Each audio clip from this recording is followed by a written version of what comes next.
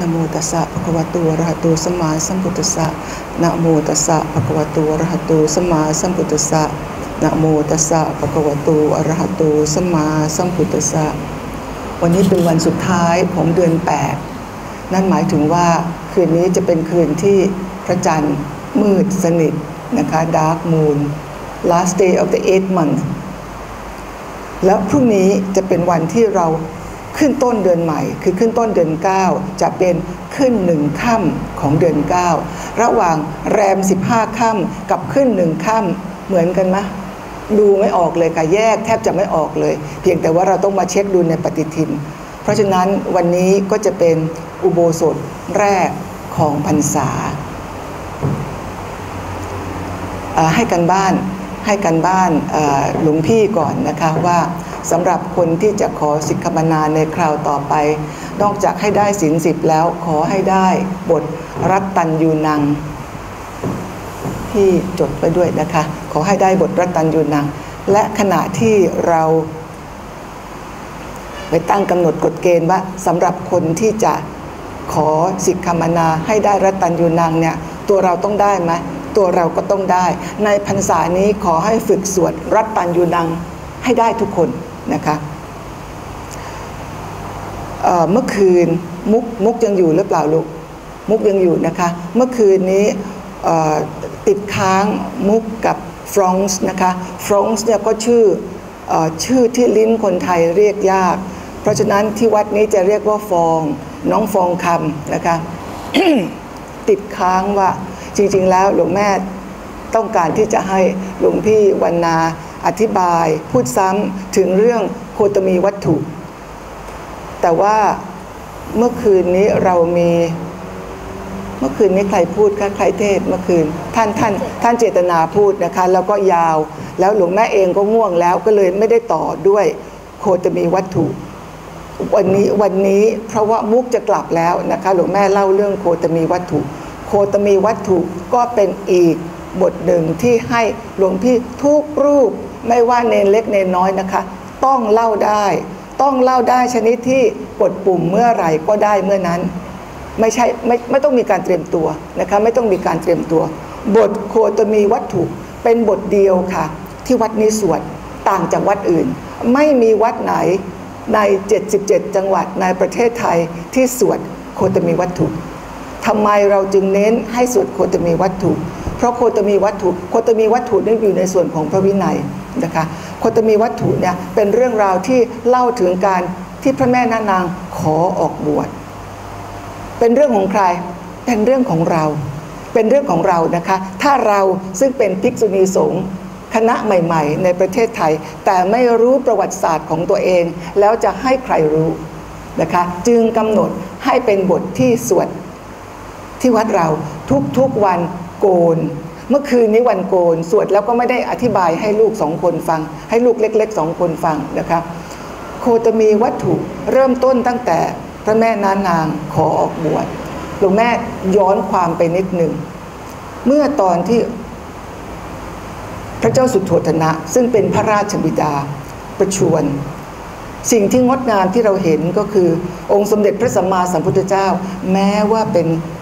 พระสัมมาสัมพุทธเจ้าแล้ว เสด็จมาดูแลพระราชบิดานะคะ การที่เราออกบวชเป็นพระไม่ได้หมายความว่าความสัมพันธ์ระหว่างลูกกับพ่อแม่จะขาดลง เพราะฉะนั้นท่านย้อนกลับมาดูพ่อนะคะย้อนกลับมาถวายการดูแลกับกับพระราชบิดา ที่งดงามก็คือนอกจากจะดูแลทางกายแล้ว ท่านยังเป็นผู้ชี้นำพระราชบิดาทางใจ จนในท้ายที่สุด พระเจ้าสุโธธนะบรรลุอรหันต์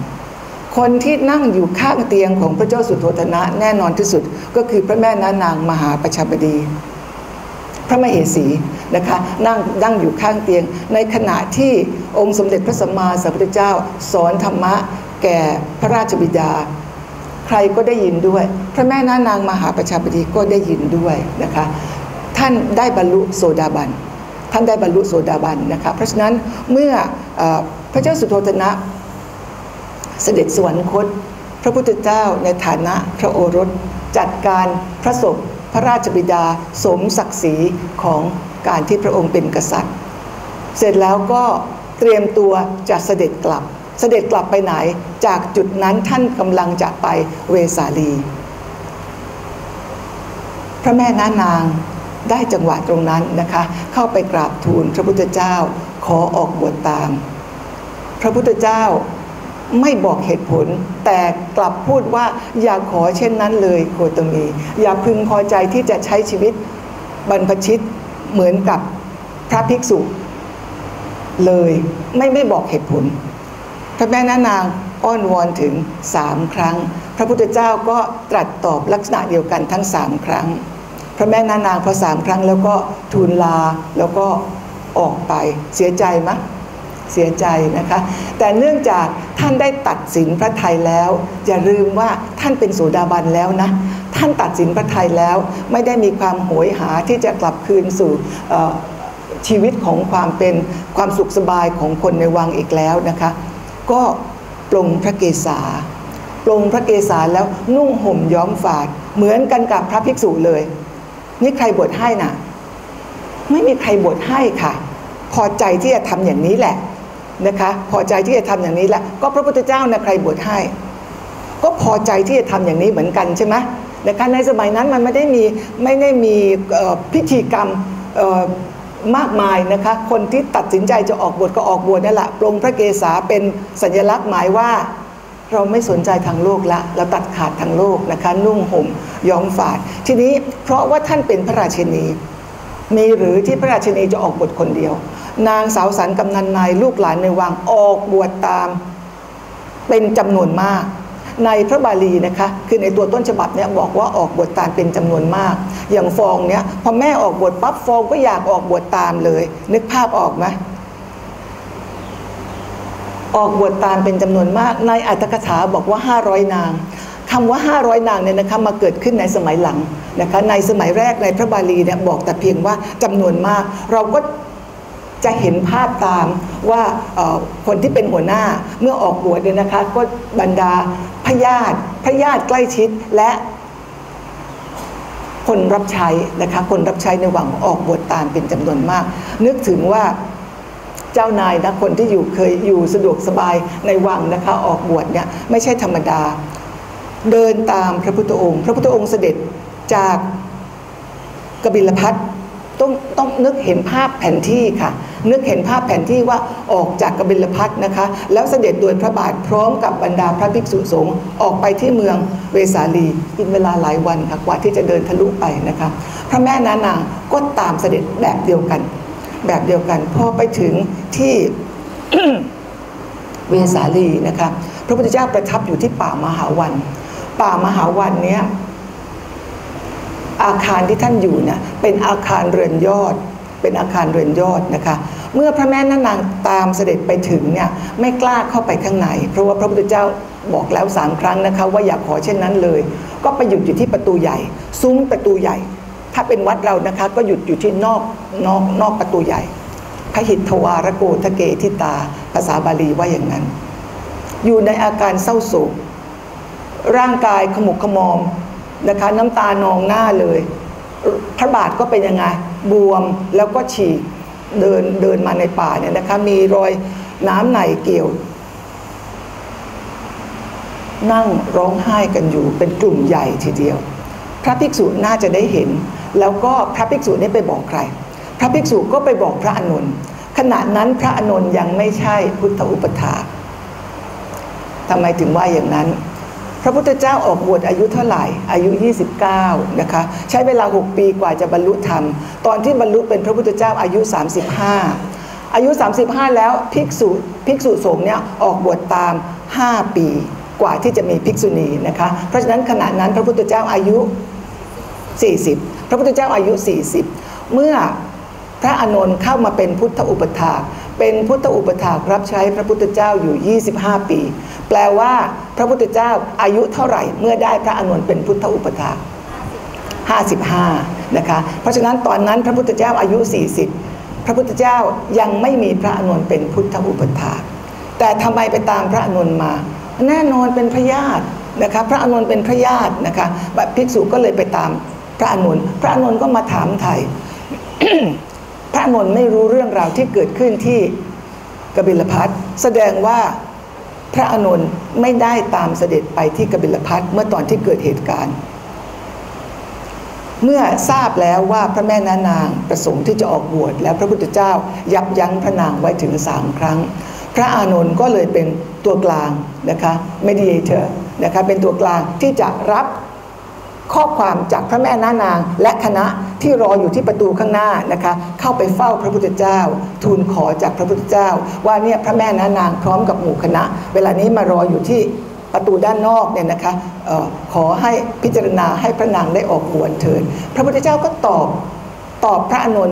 เหมือนกันกับที่ตอบพระแม่นานางว่าอานนท์เธออย่าพอใจให้มาตุคามออกบวชเลย พระอานนก็เลยใช้วิธีถามแบบใหม่ ปริยาเยนะ ถามอีกแบบหนึ่งนะคะว่าที่ไม่ให้ผู้หญิงออกบวชเนี่ยเป็นเพราะว่าผู้หญิงไม่มีความสามารถในการที่จะบรรลุธรรมใช่ไหมเพราะอนุญาตให้ผู้ชายออกบวชใช่ไหมนะคะเส้นทางนี้เส้นทางของพุทธศาสนานี้เป็นเส้นทางที่ทุกคนสามารถจะบรรลุธรรมได้ใช่ไหม แล้วทำไมถึงจะมากักเฉพาะผู้หญิง ไม่ให้ผู้หญิงออกบวชในเมื่อบอกว่าวิธีวิธีทางการบวชนั้นเป็นเส้นทางลัดใช่ไหม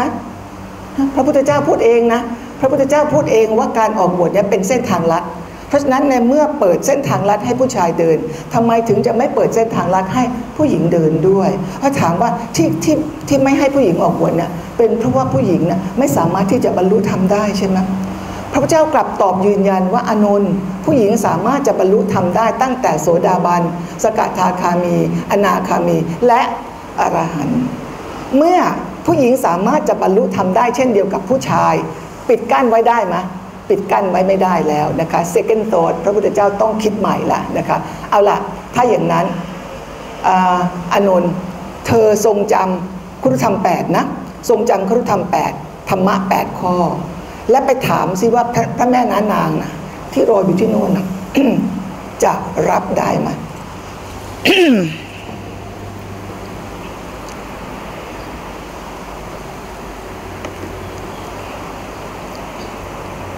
ตกลงเราเห็นภาพว่าพระพุทธเจ้ากับพระแม่นานางเนี่ยเจอกันหรือเปล่า